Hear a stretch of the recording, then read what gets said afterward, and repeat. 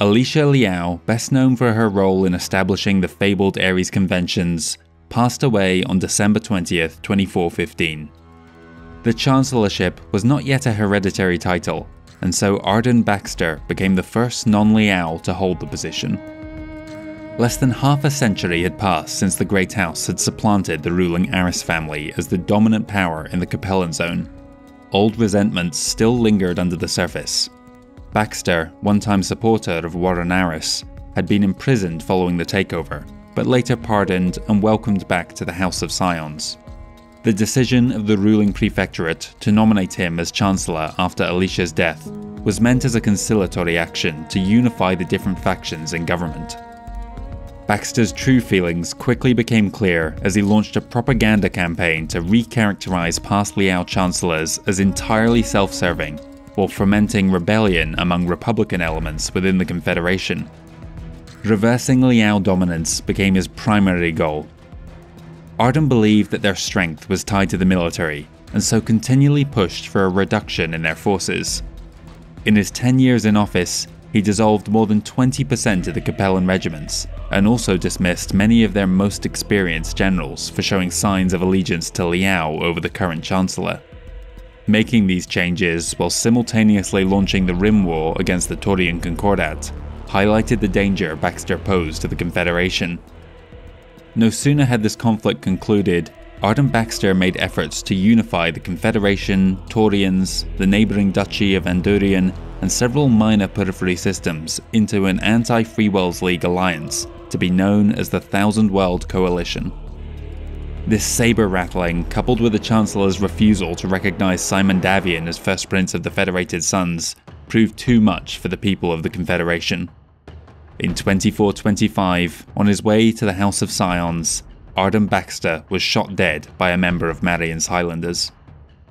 Alicia Liao's nephew Stephen was chosen as the next Chancellor and immediately set about reversing his predecessor's actions. Believing that Baxter's antagonism towards their neighbours had all but guaranteed they would move aggressively in the near future, Stephen channeled much of the Confederation's economy into expanding their military, at first, this move seemed prudent. The armed forces quickly surpassed in size and capabilities any Liao could previously muster. But as the years passed by without any of the predicted conflicts, unrest at all levels of Capellan society grew. The common citizens were taxed heavily and their wages capped in order to continue to expand the armed forces. The Confederation's intelligence agency, the Maskirovka, hunted for any evidence of wrongdoing among the nobility as pretext for seizing their estates, the Chancellor again funneling that wealth into the military. Stephen had become known as the Great Organizer as his obsession with the Capellan armed forces grew, frequently conducting parade drills around his palace until his death in 2450. During his time in office, many of his best officers had amassed considerable political power, foremost among which was General Raoul Merrick, Believing he posed a danger to his family, the new Chancellor, Duncan Liao, moved to curb his influence by disbanding parts of the military loyal to Merrick. The general retaliated swiftly, calling his grenadiers to Sian and occupying the Jade Palace, ushering in what is known in Capellan history as the Time of Tribulation. For seven months, the Confederation was ruled by Merrick's junta, the Chancellor, imprisoned within his home, finally realised that no one could make a move against the rogue general as long as he remained a hostage. In February 2452, Duncan Liao took his own life. His older sister Jasmine, colonel of the 2nd Hexare Lancers, immediately proclaimed herself Chancellor. With the safety of Duncan tragically no longer at risk, she ordered an assault on the palace, leading the attack on the Forbidden City herself. A two day battle saw all of the grenadiers destroyed and General Raoul Merrick killed, bringing to an end the First Tribulation. The Loyalist Regiment was subsequently renamed the Red Lancers, and they have served as the Liao family's personal guard ever since. The Second Tribulation followed soon after when Jasmine initiated a brutal purge within her officer corps the Maskirovka rounded up 233 high ranking individuals and sentenced them to death. She then assumed personal command of all borders and divisions within the armed forces, a role that would be passed on to future chancellors.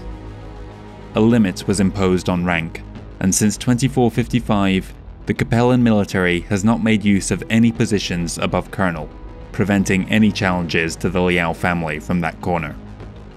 The third tribulation came when she moved to chastise the House of Scions, the so called Lawyers' Guild. Their inability to free a brother from captivity and their apparent willingness to work with Raoul Merrick's military junta left her doubting their loyalties. Like so many times in history, what was first passed as emergency powers was quickly used to circumvent any balances and checks on power altogether.